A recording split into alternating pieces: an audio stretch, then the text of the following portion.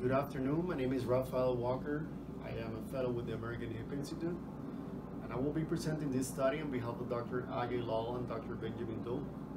It is titled Perineal Pressure During Hip Arthroscopy is Reduced by Routine Introduction of Trendelenburg. These are our disclosures. So the traction table with a perineal post is commonly used in hip arthroscopy for joint distraction.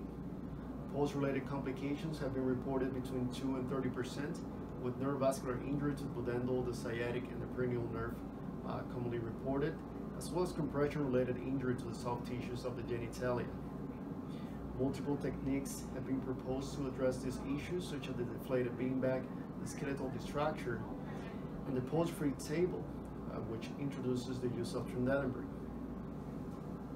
So the purpose of this study is to identify the pressure exerted by the perineal post during various inclinations in the modified supine position. Our hypothesis is that perineal pressure would be reduced through the introduction of Trendelenburg positioning.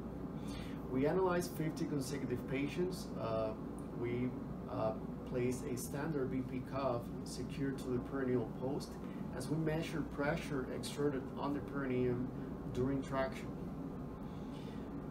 different uh, positions were uh, measured, uh, 0, 5, 10, and 15 degrees of Trendelenburg.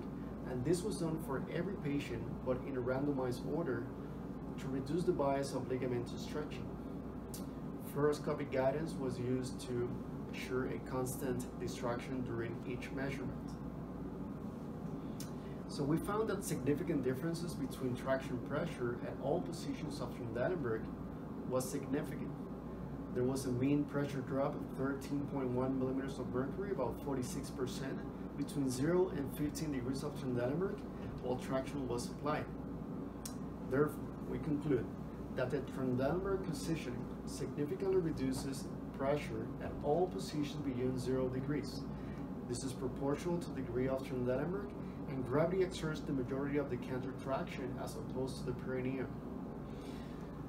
However, we do recommend retaining the perineal post as a backup patient stabilizer, but routine use of Trendelenburg may lead to a significant decrease in complications related to the traction and the perineal pressure. Thank you.